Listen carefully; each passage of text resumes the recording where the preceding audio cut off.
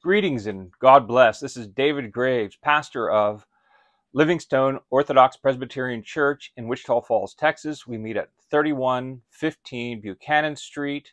Uh, it's called the Ark, which is where we're renting currently. We meet there on Sundays at 1045 for morning worship. And beginning September 8th, we'll begin at 6 p.m. And so in the morning, we're working through the book of Acts and we'll begin working through the book of Judges on Sunday evenings. Now, as we start this journey through the book of Leviticus, there's a few questions people ask. How is it and why is it that somebody would become interested in the book of Leviticus? If you look at the book on my right shoulder, you'll see Alfred Edersheim's The Temple, its ministry and service. I, read this book 30 years ago, and one of Edersheim's contentions is that if you wish to understand the book of Revelation, you first have to understand the book of Leviticus. So that was one of the first things that began my interest in this book. And there are many other things, and we'll have to look at many of these throughout our journey. But this morning, I want to under, take away and understand what are some of the obstacles. Why do some people not enjoy, or why do they turn away from the book of Leviticus? Uh, the church father Origen puts it like this If you read people passages from the divine books that are good and clear, they will hear them with great joy.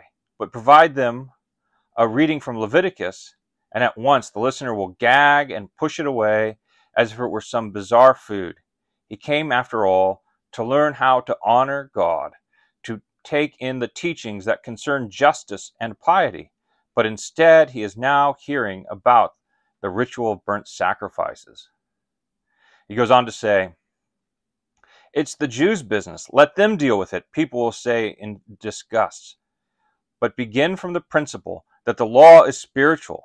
If we are to understand and explain all the lessons that are read, it is the church's responsibility to show the people that the dull details are filled with promise. For my part, and because I believe what my Lord Jesus Christ has said, I think that there is not a jot or tittle in the law and the prophets that does not contain a mystery. So he also begins to explain why. I can also go to what one of my uh, theology professors said in seminary. There's ever a part of Scripture that you don't like, the only response is to repent, for God has spoken. And all Scripture is breathed out by God and profitable for various things. And so we must read it in its rightful context. Now, it's not just the church fathers that recognize this. We can see it in pop culture.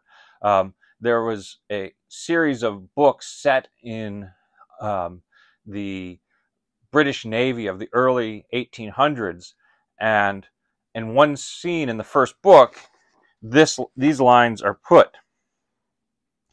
Um, well, Let's see, where is it? Sorry, give me a second. If any person in the fleet shall treacherously or cowardly or cry for quarter, he shall suffer death. If any person in the fleet shall commit the unnatural and detestable sin of buggery or sodomy with the man or beast, he shall be punished with death.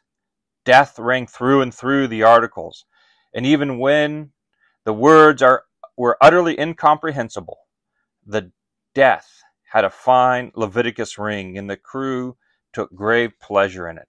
Death rang through and through the Articles of War, had a fine Leviticus ring.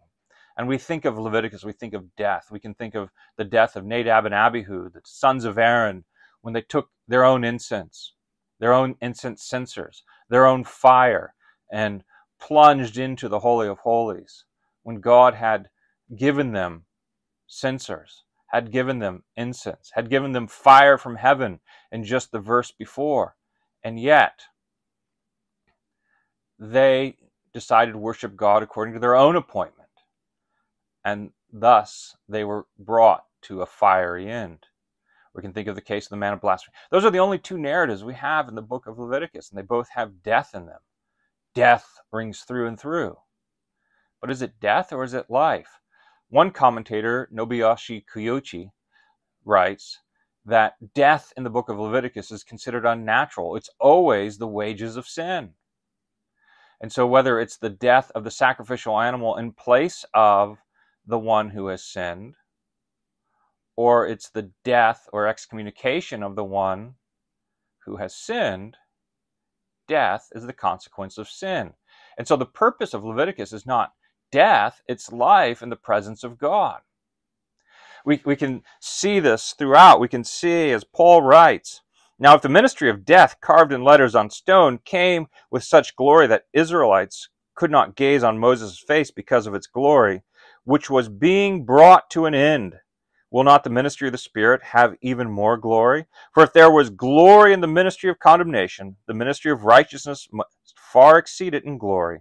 Indeed, in this case, what once had glory has come to have no glory at all because of the glory that surpasses it. For what was being brought to an end came with glory, much more will it bring, will it uh, have permanent glory.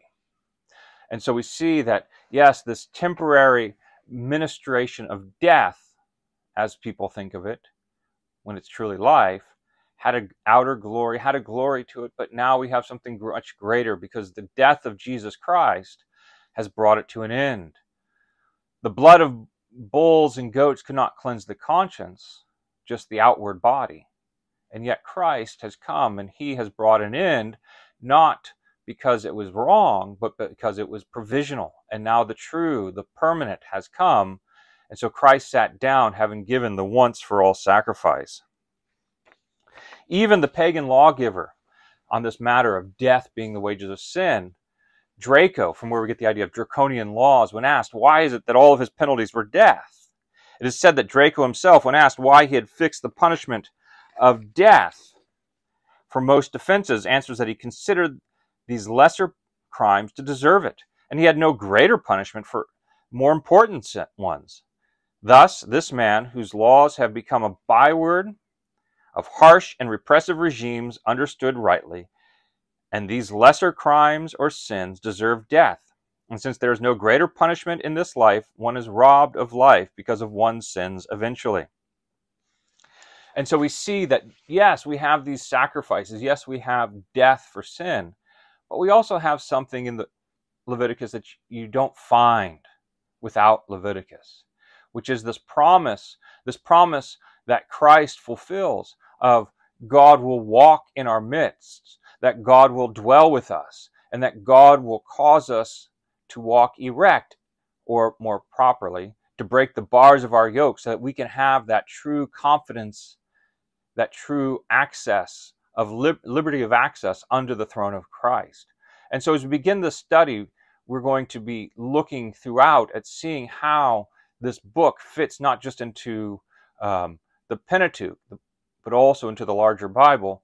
We'll need to start next time in the book of Genesis, looking at how sin brought an end to this fellowship between God and man, and how we have a provisional restoration in Leviticus before we see the full consummation when man shall dwell with God and God with man in the new heavens and the new earth. Thank you. God bless. Join us next time.